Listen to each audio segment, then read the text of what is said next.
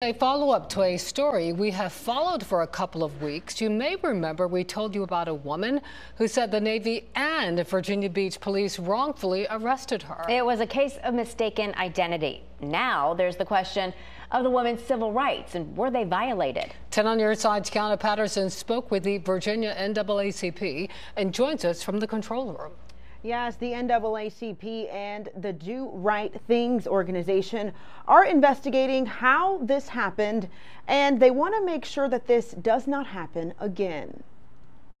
Civil rights advocates are working to get answers on how Navy wife Jacqueline A. Smith was arrested on JEB Little Creek, jailed in Virginia Beach for two days, then released on a $5 bond. When I look at Ms. Smith, I, I can't help but see my daughters. Virginia Beach police report Smith was arrested on a warrant out of Baltimore with the same first and last name, as well as the same birth date and birth month.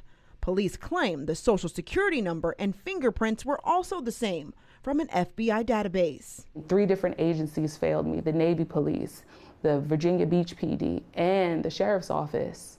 Yet Smith has a different middle name, and the women are three years apart in age. Smith believes Navy and Virginia Beach police blurred the two identities.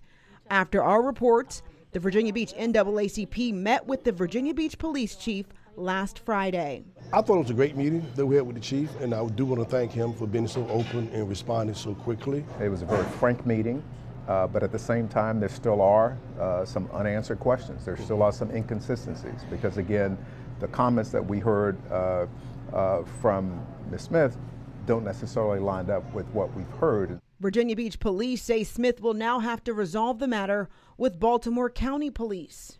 This original warrant that was actually issued could have been done in error.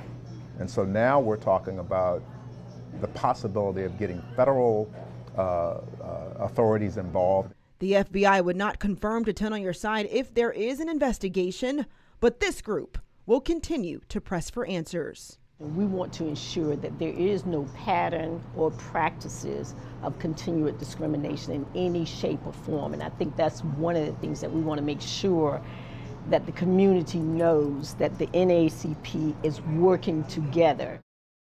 And I did reach out to the Virginia Beach Police Chief for an interview with Wavy News. I am waiting to hear back. But the Virginia Beach NAACP plans to meet with the sheriff tomorrow, as Smith says that she had several health issues while in the jail. We will continue to follow this story. Kiana Patterson, 10 on your side.